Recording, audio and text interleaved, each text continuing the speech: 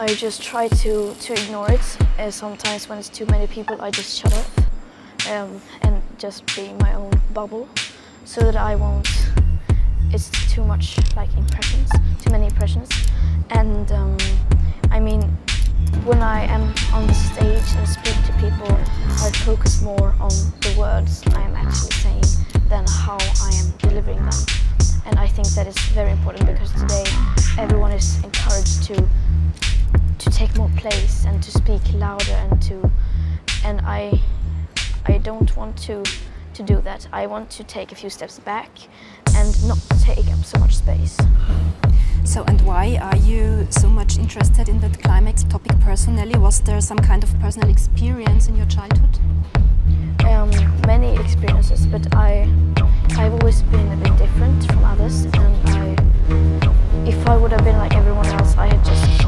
I would have just continued like before. But now, I couldn't do that. I could, I remember watching films um, of plastic in the ocean and starving polar bears and so on and I, I was very sad and everyone else, my classmates were also very sad. But when the movie was over, everyone just kept on going like before. They weren't bothered by that film. But I couldn't do that because those pictures were stuck in my head and I, I got home to, I don't know how many hours I spent alone and on libraries just reading and information so if we talk about the young generation, a question for both uh, of you. Um, should we start teaching in school maybe with a topic like, Greta, can we still save our world? Um, that depends on how you define save the world. Is it like avoiding setting off an irreversible chain reaction beyond human control?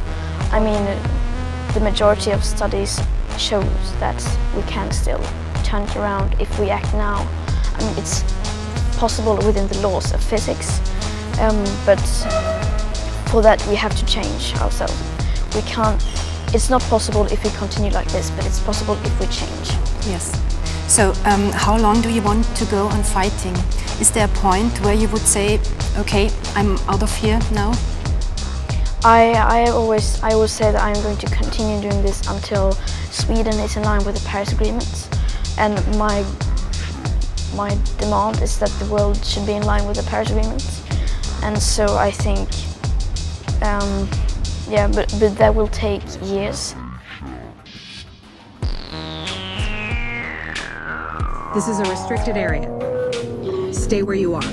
You're not allowed in there. This is your only warning. 50% may be acceptable to you, but those numbers do not include tipping points, most feedback loops.